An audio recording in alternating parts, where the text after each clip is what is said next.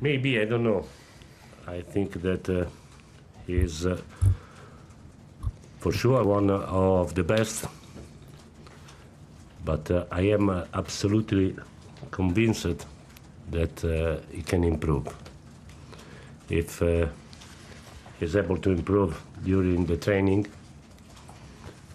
maybe he will be able to to use himself at uh, 100% because I think that uh, we have seen only the 70, 75, 80% of uh, his potential. So I think that uh, he, if he is able to, to improve, he will be the best in the world. Uh, like defeat is, it's not cool. You know, it's not what you want. It's not. Um,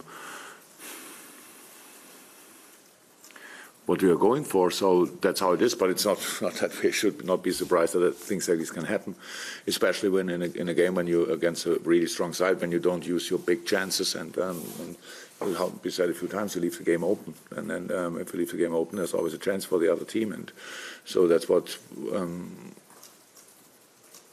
what happened, not more.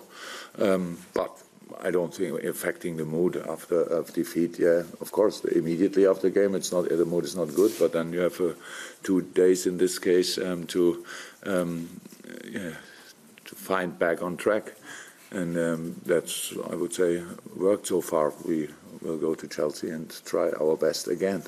But um, in, in, games like this, you never can be sure that you will get the result you, you, you want to have. You have to work for it, and that's what we try.